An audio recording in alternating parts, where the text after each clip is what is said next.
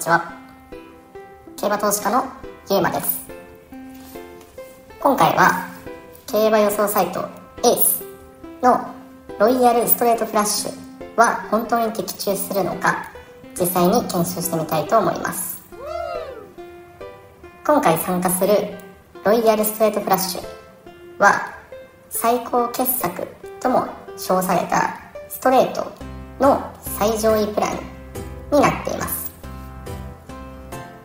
通常であれば月曜日は定休日なんですけど満を持してこのタイミングで提供されるようです。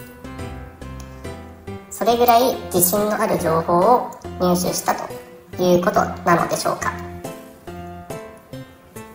ロイヤルストレートフラッシュの詳細はこちらです。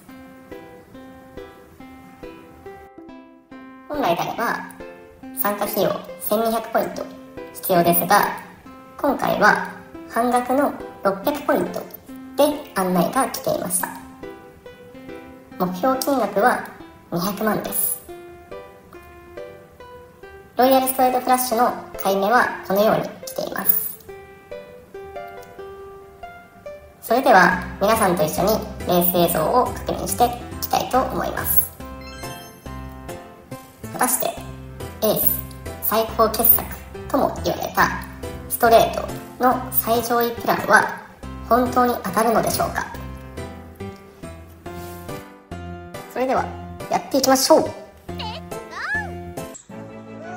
さあ合図が鳴ってスタートしました。残り線の飛び出し。最初の障害。12番の紅姫がわずかに前と言って1障害降りました。6番 M 宝が最後全馬第1障害降りています。紅姫に内1番の津軽富士が並んでかわして止まります。少し間が空いて3番手以降は一段です。7番クリスタルコースと刻みます。外8番の J ライフ内に6番の M 宝5番ミュ4番宝永ちゃん3番カリナナイト。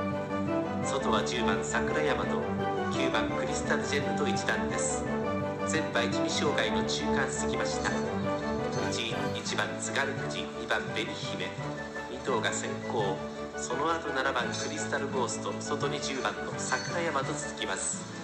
うちの2頭が並んで第2障害の手前。前半59秒で来ています。3番手が集まって津軽富士挑戦始まった。そして紅姫それからクリスタルゴースト外桜山とも第2障害を登っていきます。なんとクリスタルゴースト紅姫2障害膝をついています。1番の津軽富士まずくらった。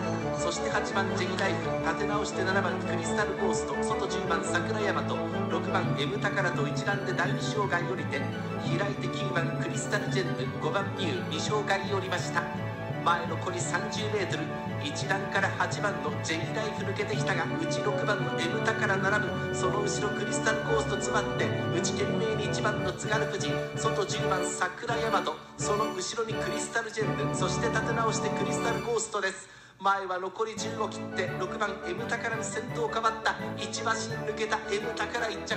そして8番の J ライフが2着。さあ3番手9番クリスタルジェンヌ。内7番クリスタルゴースト並びました。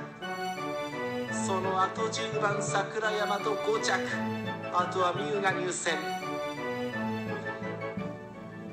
そして間が空きまして紅姫そしてカイアナイトがゴール。ゴール前詰まった津軽富士が立て直して宝永ちゃんと並んでゴールに入りました。第9競争 B に1組の一戦。直線抜け出した J ライフを内から M タからかわして今季の6勝目通算10勝目としています。だから今日初騎乗でした長澤幸太騎手。金田勇調教師の管理馬8番 J ライフ2着。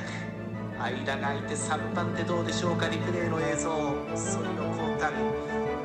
どうやら並んでいます。内は7番クリスタルゴーストはいということでロイヤルストレートフラッシュのレースが終わりました。結果帯広級レースが的中して274万4000円。的中しました。レースを見た時は正直びっくりしたんですけど、まあ、的中すれば問題ないという感じです。定休日にもかかわらず最上位プランを提供したということは自信の表れだったということでしたね。目標金額もクリアして納得の回答を得られたと思います。この結果からレースの最高傑作と称されるストレートの最上位プランは情報の質的中精度ともに満足のいく結果となりました。今回使用したレースに興味がある人はこの動画の概要欄に僕の LINE のリンクを掲載しておくので友達追加をしていつでも連絡してきてください。予想サイトの使い方や馬券の購入方法など競馬をやったことがない人にも簡単に使えるように解説していきます。他にも検証してほしいサイトやプランがあればコメントや LINE をしてきてください。それでは今回はこの辺で終わりにしたいと思います。た次回の動画でお会いしましょう。バイバイ。